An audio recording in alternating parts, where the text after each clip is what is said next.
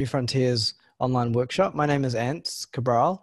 Um, I'm part of the EHF team, and we're running these online workshops to continue a lot of the work that we intended to run earlier this year in February in, in Auckland and New Zealand at our large uh, New Frontiers in person gathering. But um, as the COVID situation has unfolded, we've turned to the online space to continue this work. Um, so we're running several of these sessions with many EHF fellows working across different different areas like investment and regenerative agriculture, and um, so keep an eye on the website for more of those.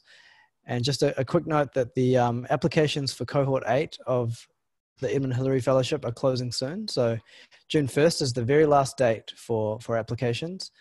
Um, and this will be the last EHF cohort in our pilot program. So if you know someone that's interested in applying, um, now's today's a great day to, to let them know. And for the session today, we're really lucky to have Dr. Galia Bahar Monteith joining us. She's an EHF fellow from the incoming cohort, cohort six, um, a psychologist by training with a deep background, a, a, a background in deep corporate New Zealand, um, a PhD in mind body healthcare that has stemmed from her own personal lived experience of being diagnosed with an autoimmune condition, um, which led her on an exploration of vitality. Uh, her current work, pivoting through this crisis, is all about mobilizing knowledge, um, leaning on evidence and experience based methods around well being. So she does a lot of writing and sharing and, and taking complex, complex things and making them more accessible and more meaningful to people, which is a topic very close to my heart as well. Um, so before I hand it over to Galia, I'm going to let Paula from EHF introduce us to the features that we'll be using on Zoom today um, and get us started. Kia ora, everybody. Um, nice to be here. Just wanted to say that if you have any issues, tech issues, feel free to, to reach out to me on the chat window and I can help you with that. And for during the presentation, Galia is going to be showing some slides. And if you have any questions, you can use the Q&A uh, box that is in the bottom of Zoom. That will be a great way to help us um, go through the questions during during the, the meeting as well after the, the presentation finishes. Uh, you can upvote questions as well. So if you're interested in someone else's question, you can vote them and then we can go for the ones that have more votes. And that will help us uh, have like a clean uh, call today, a clean meeting. And something that um, we are interested to, to, to know is like, where are you uh, joining us from? So if you can add in the chat window, uh, who are you, where are you joining us from and how you're feeling? Uh, that's something that Galia and we are interested to know more about you. We'll be sharing as well.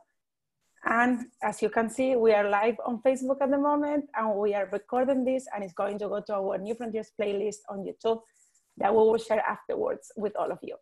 So these slides are going to be available as well. So thank you, Galia, for that.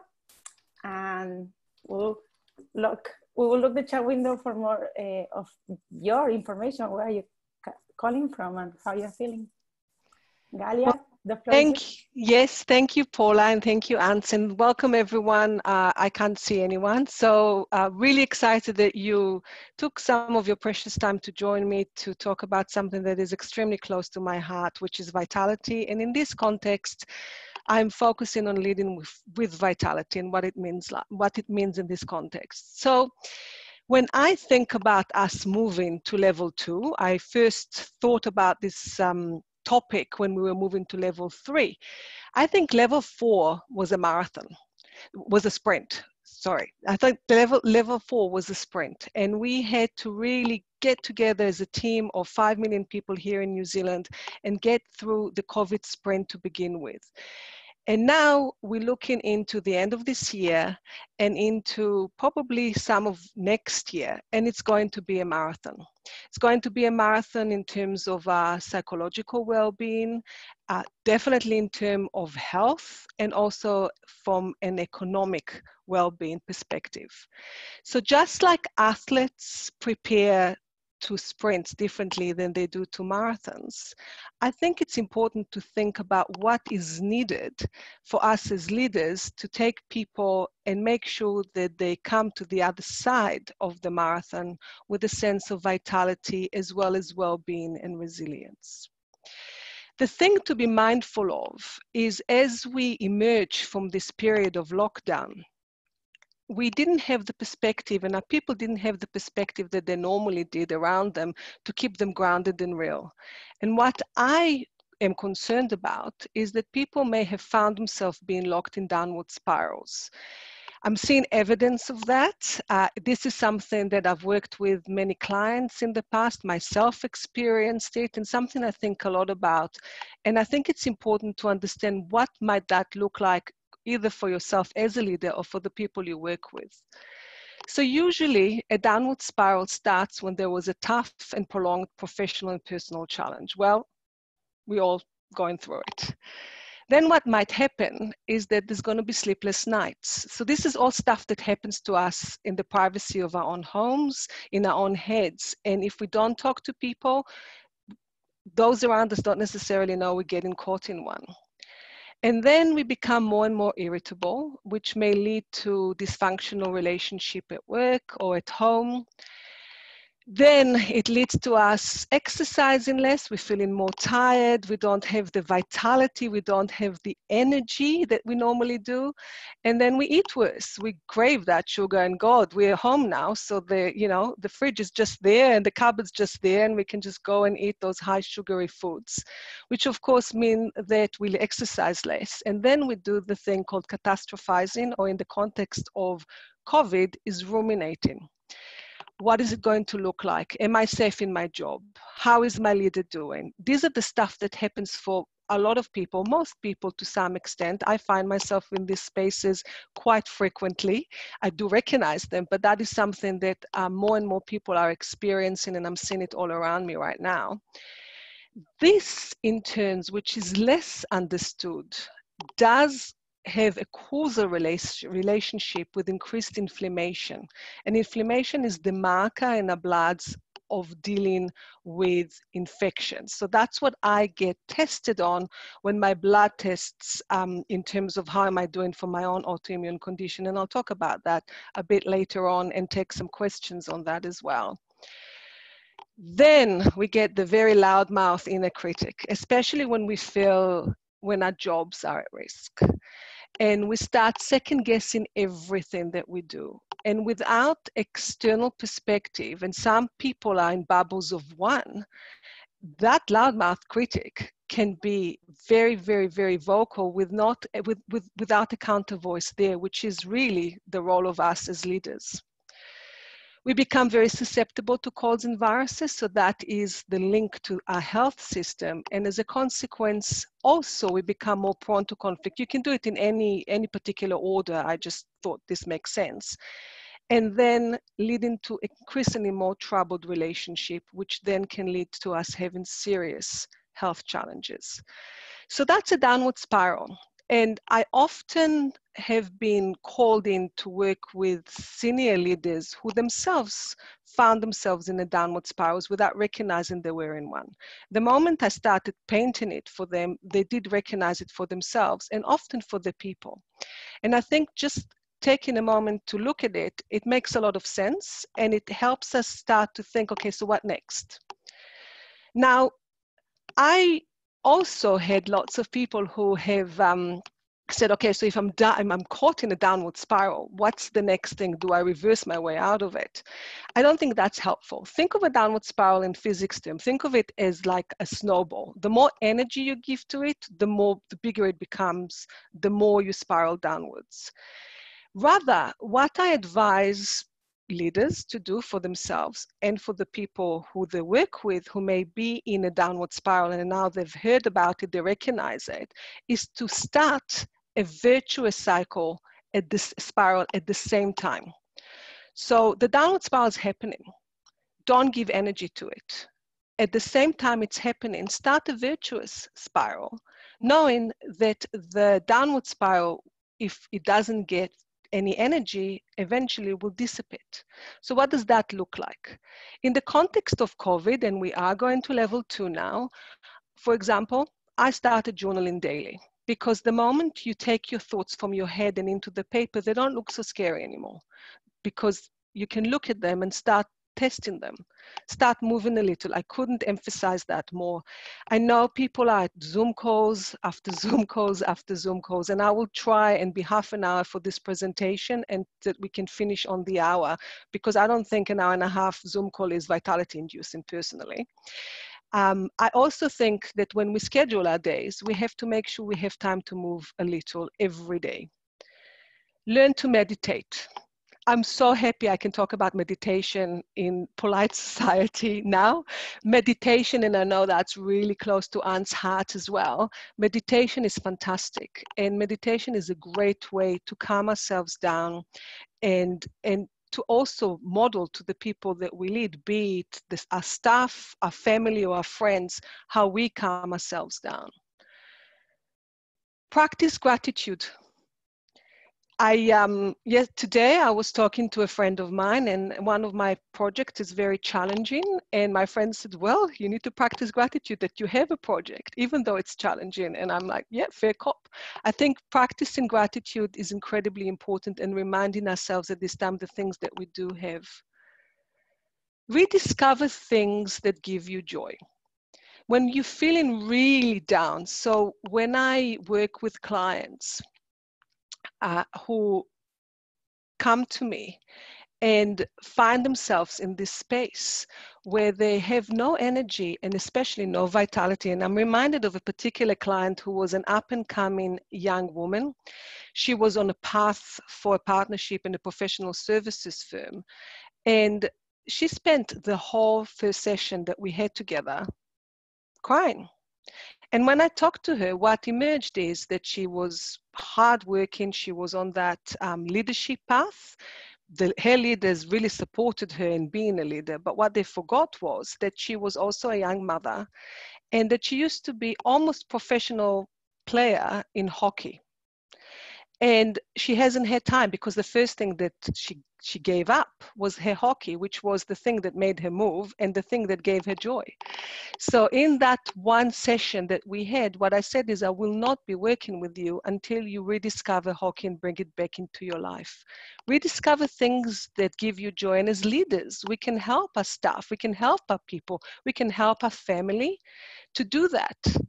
And then we can spend time with the good guys. So, as individuals and as leaders of others, we can make sure that we create the environment and the atmosphere where people feel that they are looked after, that they are supported, that they have people who have the backs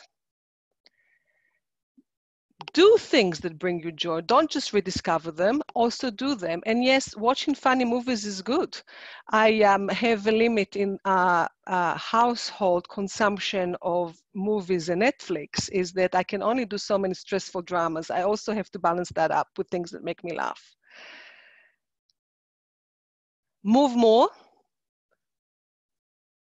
and cultivate your inner coach a great way to counterbalance that inner critic is cultivating your inner coach. When you do a good job, stop and actually pay attention to what you think made that job a good job also make sure that you take on board other people positive feedback.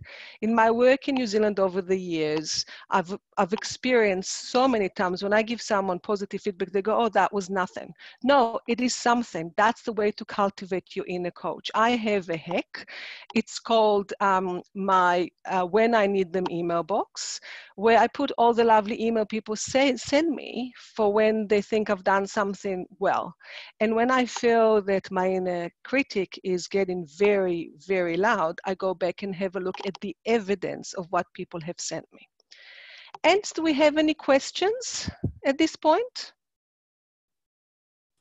That is a very good question. We're getting lots of comments saying, I'm loving it and I'm enjoying it. Uh, no questions yet. So maybe just a, a, if anyone has any quick questions they want to pop into the chat, now's a great time. Now's a great time. I'll pause and get some questions.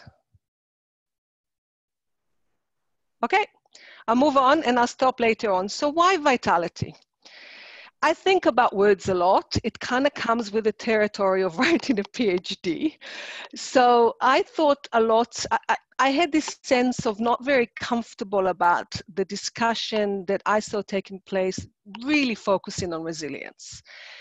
And to me, vitality speaks of hope, of possibilities. It speaks of buoyancy, of passion, of vigor. We love spending time with people who emanate vitality. We can almost feel it. It's that kind of je ne sais quoi. It exists in different cultures and in different languages like je ne sais quoi, and in my, my language of Hebrew as well. And I sort of think of vitality as being resilience plus well being plus something else. So, where did it come from? Where did this passion for vitality and really thinking that this is the thing that we stand to lose as we go through COVID and the marathon that ensued um, with resilience and well being? Uh, nine years ago, I was diagnosed with an extremely rare autoimmune condition, and it is an overactive immune system. The condition is called Churg-Strauss vasculitis, and those of you who are Kiwis may know the broadcaster Toni Street, who has publicly spoke of her own battle with CSV, uh, Churg-Strauss vasculitis. And um, when I was undergoing very, very uh, aggressive treatment to shut down my immune system, which, which was comprised of chemotherapy and steroids therapy, I was really resilient. I approached my illness with as many tools as you could possibly imagine being a psychologist and a coach. So I was resilient. I also had well being. I have a loving family who looked after me, but the thing, something was missing.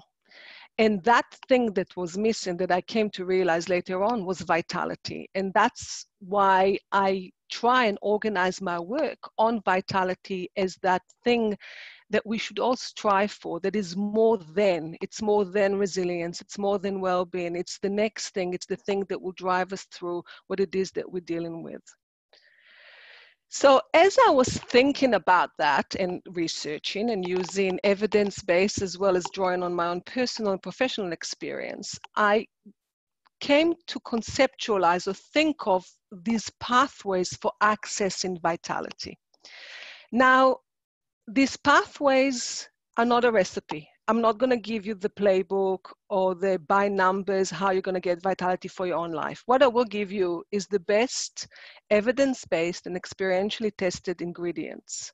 And it's up to you as individuals to play with them and to find the right ingredients to give you vitality in your life as leaders and then coach, support, and lead the people around you to do it for themselves. And we lead in every sphere of our life, be it in business or in families as, as mothers and fathers and aunts and uncles and so, forth, so on and so forth. So I did come to these three pathways through my own ill health experience and also recognizing that there isn't one pathway to rule them all. They're all underpinned by good sleep, exercise, and healthy food. This is not the focus of today's talk. The focus of today's talk is to give you a strategy for each of those three boxes of values and purpose, positive emotions, and spiritual and mindful practice. All together practiced, these pathways enhance the relationships in our lives as leaders and as human beings. And all of them have been demonstrated to not just be a nice to have in a kind of psychological well-being sense they're actually a must-have when it comes specifically to dealing with covid in terms of enhanced and strengthening our immunity our immune system. I'm going to pause now. Any questions ant? There is a question. Yeah um, it's sort of actually going back to something that you said before, but I think it's related to what you're talking about now as well. On the point of rediscovering the things that give you joy, how what is an approach or how might you talk to somebody who, who self-identifies that lazing around or eating junk food brings them joy? And we know that that's something that is um, causing or part of that negative downward spiral but how, how do you how do you frame that or what's a way to approach that? That's a great question and i've been asked that and in fact i forgot to say that rediscovering things that bring you joy is not alcohol. So um, alcohol also you know we all drinking more we know that but a way to do it is to say okay what brought you joy when you were really young what brought you joy when you were really young is a great way to frame that because then people think back about the things that brought them joy before they were couch potatoes and ate junk food all day. You can you can preach, but from experience it doesn't work. But if you really push them so when you were really little what were the things that you know when do you remember when you were really little that you were feeling really really happy? And then you'll be surprised.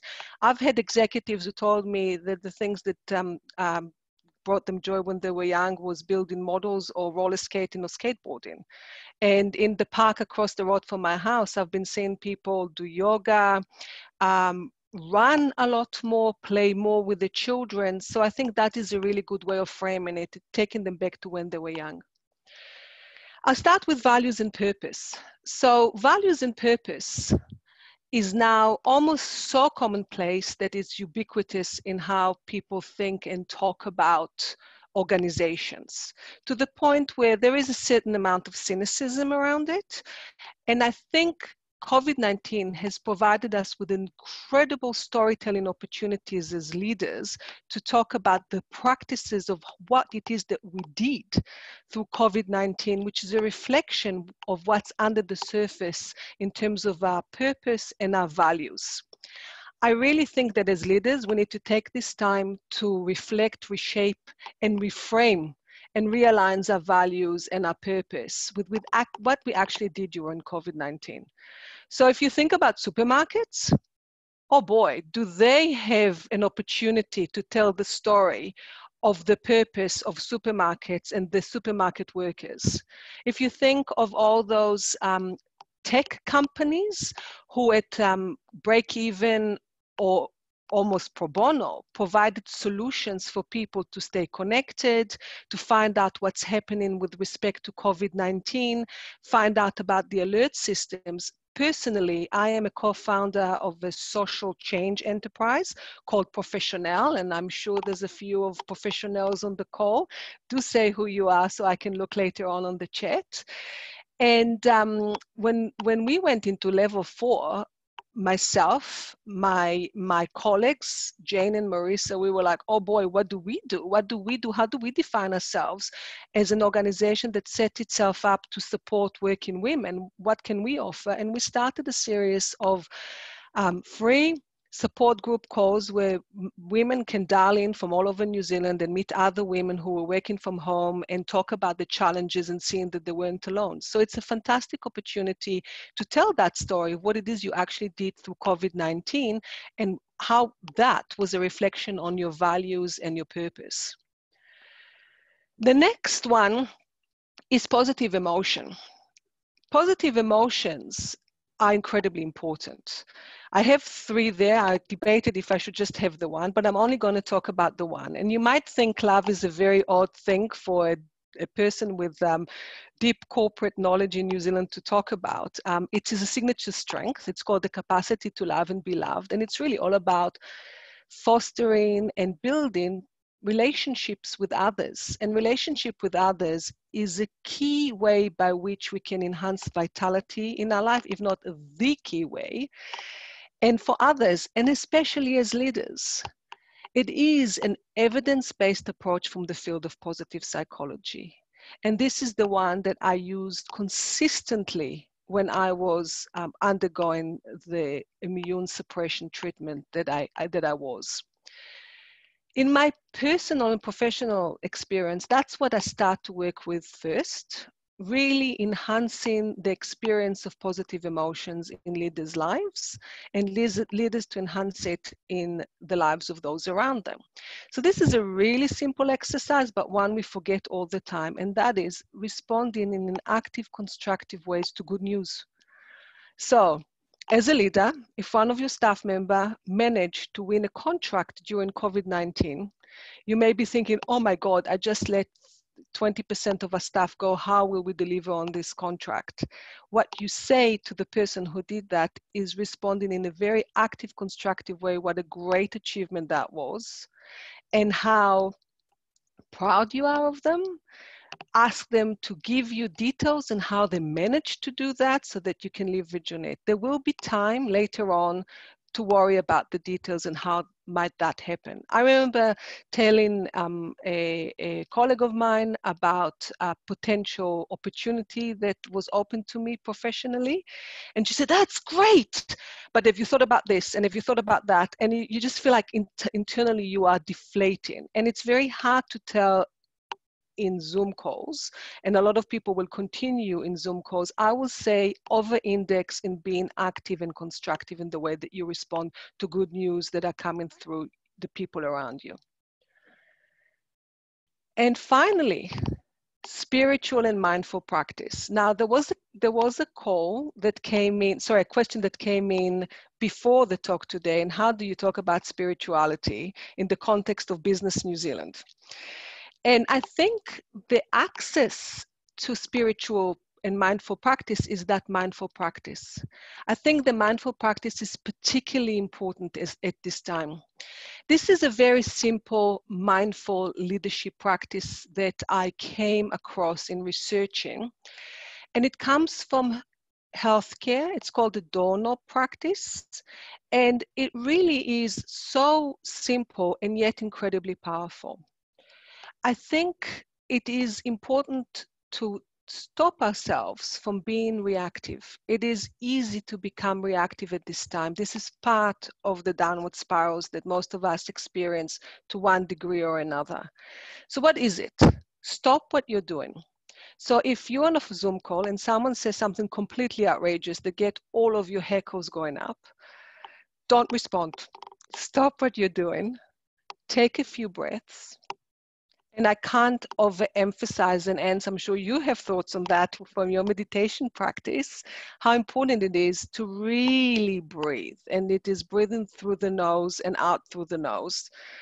And really take a few breaths and then observe and check in with what's going on around you. Just look around you, just remind yourself, ground yourself in the reality of where you're at, and be purposeful in how you proceed.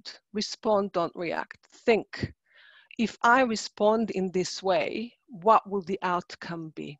And that is a simple mindful leadership practice. The thing to me about spirituality is the more you spend in mindful practices, spirituality then comes. And speaking from my own personal experience, well, I've known for years and years and years the importance of meditation. I didn't do it.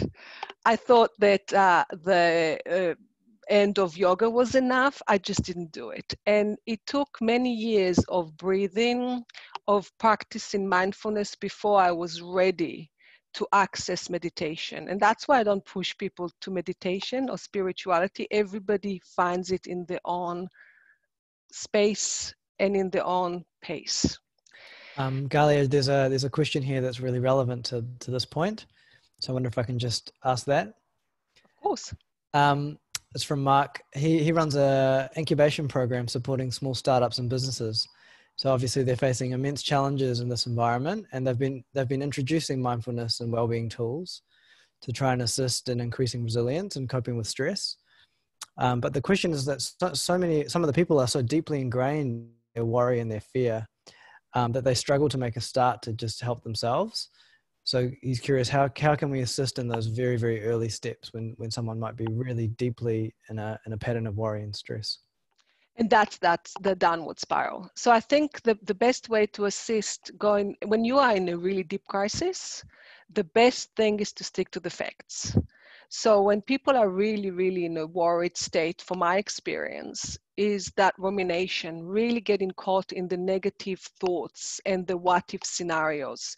So as leaders and working in this particular environment, it's really writing things down and looking at the facts. And, and some of them are really difficult, but having those facts down enables you to deal with something real and not box at shadows. I wouldn't even go to mindful practice at that point. That's my personal view. If I work with someone at this level of stress, I start with really interrogating the facts and dealing with what's in front of us and what's actually under our influence. There needs to be a level of calm before you can bring in mindful practice and, and those tools. You need to, to get yourself to a level of calm to be able to do so. So I'm going to share a personal story, and that's when I was spinning out when I was being treated for my um, for my condition, and I was on a huge, huge degree of steroids. So those of you understand, I was on 75 mega day of um, uh, steroids. So all I wanted to do is eat and scream, and hopefully in the same time. So when someone said to me, "Well, have you thought about meditating?" I nearly smacked them because I was in such a, a, high level of stress that I, I couldn't even get there at that point. So there is a level of, of supporting to the point where you can actually practice this. But as leaders, we can and we should. And if we practice them at leaders, that does help the people around us to also access it as well. So I have another strategy, one that I've just recently discovered. I undertook a Leading with Humor um, course, short course with Stanford University. And they did this thing called the humor audit. Now, humor is incredibly powerful. And I picked humor as a particular strategy because we know how powerful humor is. In a recent survey that they spoke of in the, in the course, they mentioned that 98% of executives prefer employees with a sense of humor, and 84% believe these employees do better work. And studies show that humor makes us appear more competent and confident, strengthens our relationship, and unlocks creativity, which is really important. I found that particularly fascinating. Apparently, the average four year old laughs as much as 300 times per day, whereas the average 40 year old, by comparison, laughs 300 times every two and a half months. Now, laughter is a great way of bringing vitality and also releasing stress. Now, not all of us are funny. That's why the humor audit is really helpful. So when I did it, I found out that I actually laugh quite a lot. And that the people who are around me and the closest to me really makes me laugh, make me laugh. The interesting thing for some people on the call is you may have heard the non-Kiwi accent. I am Israeli. I'm a Kiwi. I've been here for 20 mumble years, um, still have my accent.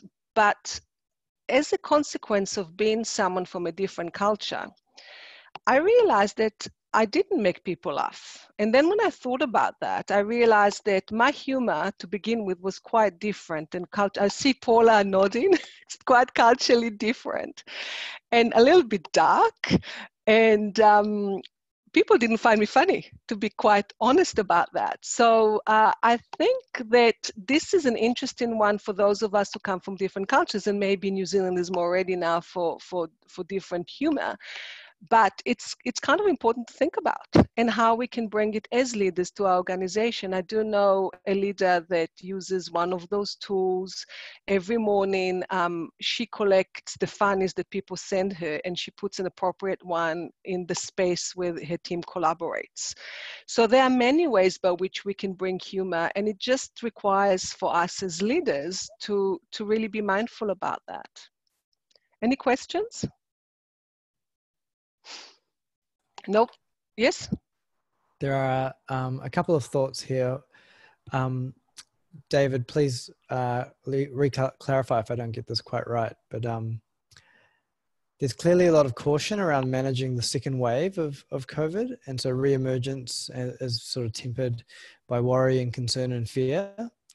So he's just curious, wondering how you are addressing the expansion and contraction pattern with your clients. Very cautiously so personally, um, I am absolutely erring on the caution side of things. People ask me personally, I am at risk.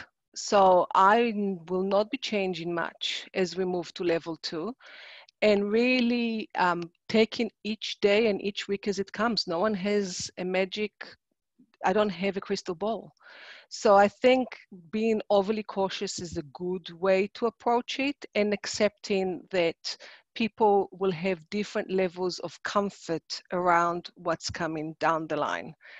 And being open to that is really important. So some people will want to stay working from home.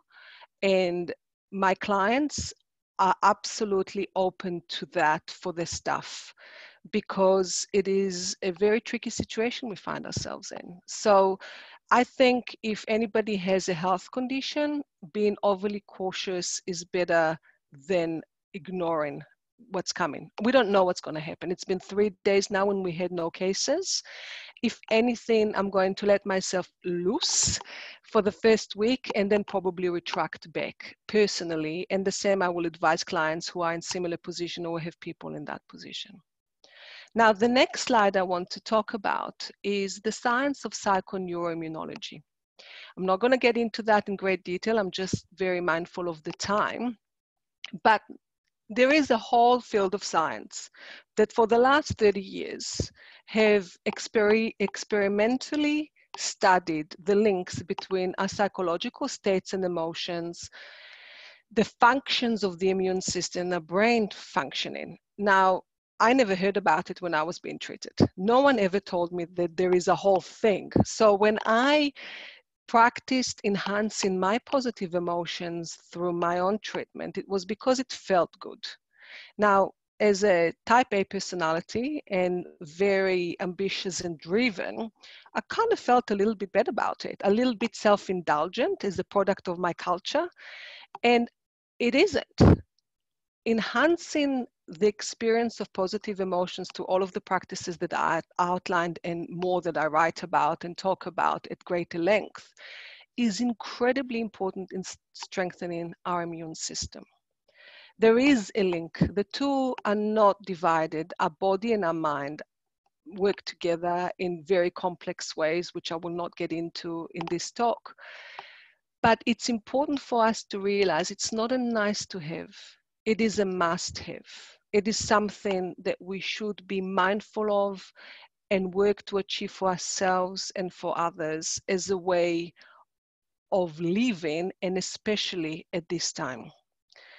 So this is my last slide. There's a, link there to my website. And um, I'd like to finish with this quote that came from a very sort of um, straight-laced academic article and i thought it was a beautiful quote. It's positive emotions both open the mind and nourish the growth of resources. When we experience positive emotions through our actions or the actions of others we open how we think more broadly we are able to see more possibilities, more options. We are able to think creatively. And that also nourishes the growth of our resources to deal with greater difficulties and more adversity later on. So now I'm going to open it up for uh, discussions and questions. Ants, if you can curate the question for me. Sure can. There's one here that's um, bubbled to the top already. Um, this is from Marco in Brazil um, who says, I believe that being an example is the best way to lead people towards a positive spiral, but often um, people close to you do not necessarily want to be helped and it can create a barrier. Um, how do we break this barrier to help help people? And I guess I can also add in some framing there that like sometimes you meet those people who are just so damn perfect and have all the uh, seem to have all the answers that can create like a, a tension curious if you've had any thoughts about how to, to navigate that. Well, first of all, if anybody out there thinks that I'm one of those people, I really am not. So I experience small spirals um, all the time. So, all the time. And I'm quite open about that and find situations very difficult. The thing is, I recognize and I know what needs to be done and I do what needs to be done. So, to the question is first of all, lead by example. Uh, I have teenagers and um, those of you who have teenagers know it's difficult. And what I realized is when I tell them what to do, they never listen. But when they observe me and see what I do, they do listen. So I think that leading by example is really important, especially at this time. What can you do to enhance positive emotions in those interactions that you have with people? If we go back um, in my slide, I'll try and go back to um, this slide here, if you as a leader take the time to learn new things about the people who work for you, if you show that you are curious, you start a virtuous cycle for them without telling them that they need to do one for themselves. If you can reframe the situation for yourself and for others in a positive way, again, show them this is something I live by show, don't tell. Show them how to do this, don't tell them to do this. Great. Um, there's one point that you made that I really like, which also relates to one of the questions here. Um, just that when you were talking about the upward spiral is something that you can start directly, even while you're struggling in a down in downward spirals. I really like that, and I think um, it helps make it more accessible. So there's a question here from from Glennis. It seems that there's a lot of social anxiety about moving forwards in post-COVID. People not knowing how to act towards each other, how to come together, what's okay and what's not okay. Um, how do we make that positive and fun? For example, what can we do instead of hugging? and I'm just I'm wanting to connect the dots between that and what you were saying before about taking small steps. I think being explicit about it is really important. I think that if you have a team that is going to come together, I mean, I've been explicit and, told my friends that they can come over and that we will be taking the temperature. because we do have one of those guns and um, of temperature guns and i am i am personally quite anxious about this scenario so i think that that setting some ground rules and actually checking in with people and not assuming we're going back to normal and in fun ways think you know people can come up with some suggestion. There's been the elbow tap. There is the namaste greeting. Um, you know make fun. Use humor. Find something that is funny and and be explicit. It is. It is. It's not easy. It is really really stressful. Um, something that i've heard a, a fellow psychologist who really uh, works with families and children that dr natalie flynn talk a lot about is always be calming in the context of parents. And I think we can always be calming in the context of leaders. We, we might not feel calm, but we can always be calming for others in how we behave. Great. There's another question here which um, relates to another. When you when you mentioned before about cultivating the inner coach, um, I really like that because you hear so much about the inner critic everywhere uh, maybe just in my circles, but that's a very common phrase. But I'm, I have not heard much about like cultivating an inner coach. Um, and there's a question here which I think is related, which is around how about um, the effectiveness of redefining self confidence. And so I'm, I'm curious, like, what are some practical steps or some things that you might recommend for people who do want to cultivate their inner coach or, or redefine their sense of self confidence? That's a great that's a great um, question because um, I'm working on doing a quick tip video on cultivating your inner coach. It's something that resonates. I, culti- I, I believe that the best way to cultivate your inner coach is through evidence, is through the facts. So, first of all, make sure that you are clear about the things you do well. So, be it in writing them down, keeping your CV up to date, looking at all of the achievements that you've done. We often go from one thing to another without stopping to reflect on the things that we've actually done. The other thing I've mentioned, and maybe people didn't uh, hear that, you know, we're communicating a lot now through email and we're sending each other some, some very nice emails. Keep them call them you know my my feedback box my affirmation my inner coach coach uh, keep them, go back to them, look at them, stick to the evidence of the things that people tell you about what it is that you do. I'm not sure how I respond to the self confidence um, question. I think that in my experience and my own personal research, working with many executive mainly women and men over the years is that successful people have their own definition of success. So perhaps it's time to start to think what do you define as success for yourself? And it is the ability to have a calm household where your children feel that they're being looked after and loved by, by you, where you are able to deliver to whatever that looks like, but redefine what it is that you consider success and then look for the evidence to demonstrate how you have done that. I hope that helps. Yeah, that's great. Um, there's a, there's another question here around So, um, three of the words that keep popping up in business and corporate speak around resilience, um, agility, and adapt- adaptability. And obviously, those things are sort of interconnected. And you mentioned resilience, but wonder if you have any quick thoughts on how that might relate to the other two. So there's a that's a really interesting one because I do know that comes a lot with um, corporate speak. Now I'm not this this is a kind of once it's a half an hour presentation. I, I do much more in-depth workshops on those topics but there is a very important theory in positive psychology called the broaden and build theory of the function of positive emotions. So negative emotions have a purpose, an evolutionary purpose. When we feel scared, we run when we feel negative emotions that come from fear or sadness really narrows our options of what we decide about what we're going to do. We're not going to be explorative. We're not going to look around for other options and other alternatives. That saber-tooth tiger is coming our way. We're going to run.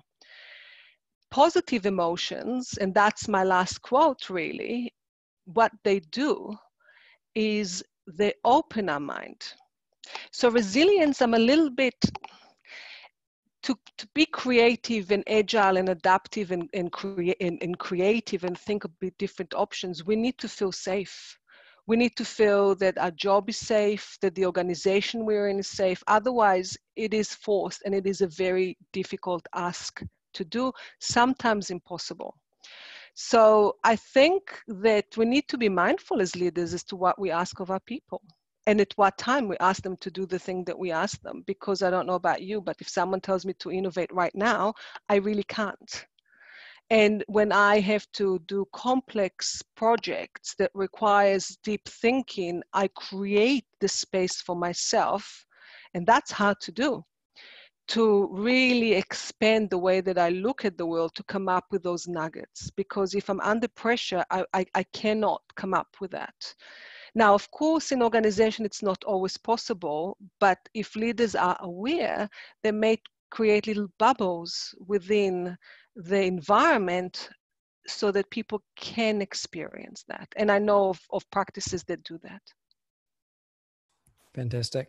There's some really great questions coming through, folks. So thanks for thanks for this. You've obviously prodded some brain cells today, which is great. Um, uh, there's a couple here that that are connected, I think. Um, and given that there's there's folks from all over the world here, so everyone will be in sort of different stages of lockdown, but but definitely some sort of shift from the normal. Um, there's a question saying, I heard somebody today compare coming out of lockdown to astronauts returning to Earth and the psychological effects of returning to a familiar environment, but that has fundamentally shifted and changed. Um, and similar to like, what are the direction, dimensional shifts that you think will happen in thoughts and actions and people post COVID. So the question there is, um, do you think this is a useful frame for us? And are there ways that we might be able to proactively mitigate some of this culture shock? I think that it's useful insofar as it's useful for you as an individual. That's what I said. I don't offer a recipe because people conceptualize things differently. I do find that um, I do find that the spirals are really universally helpful and they are also used in research. Is it as extreme? I think in some environments it would be as extreme as astronauts coming down to Earth, in other environments it will be less extreme. I think checking in regularly is a key thing to help our people and know that we see them, that we hear them and that we are aware of what's happening for them. That is what we can do as human beings for other human beings. And and for some it will be experienced as as astronaut coming down to earth others would be a case of i can't wait. I missed my workmates. I really can't wait to get stuck in. I, I, I don't have any underlying health conditions. I'm not in any risk group. So it's, it's quite different. So let's not make any assumptions about what it will be like for other people and check in with them.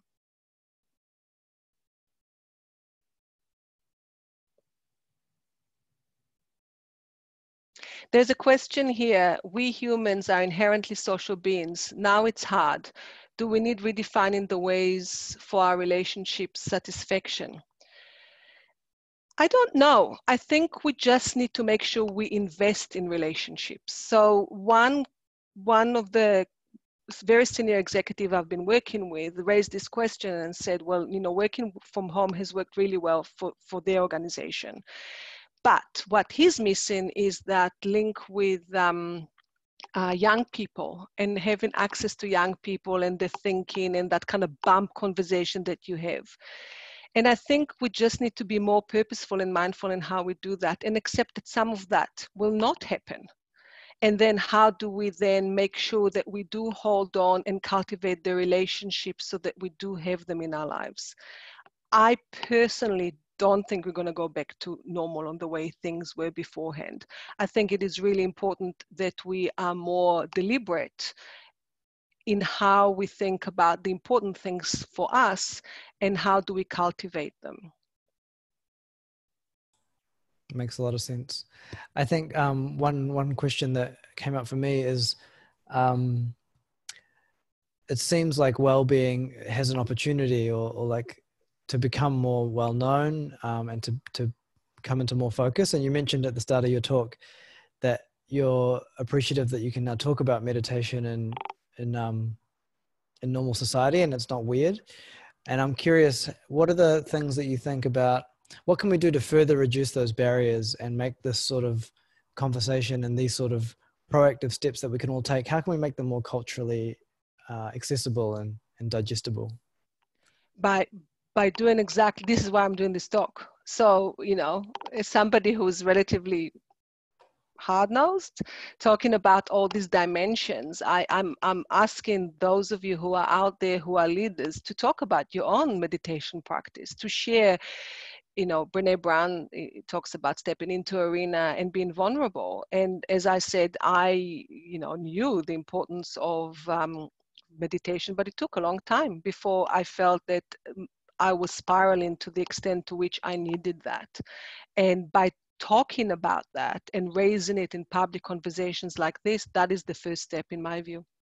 I, you can't force someone to meditate. Trust, trust me, I tried to force my teenagers. That doesn't work. Um, you can just talk about what it does for you and show, not tell. That's great. So we're, we're getting close to the hour here and we've covered a lot of ground today and conscious that it's the end of a long day for a lot of people. Um, so I'm curious if there's one sort of final message or one one practical piece of advice that you would you would recommend what what would that be? So if i look back to this inner coach and cultivating the inner coach for ourselves as leaders we can cultivate the inner coach of others.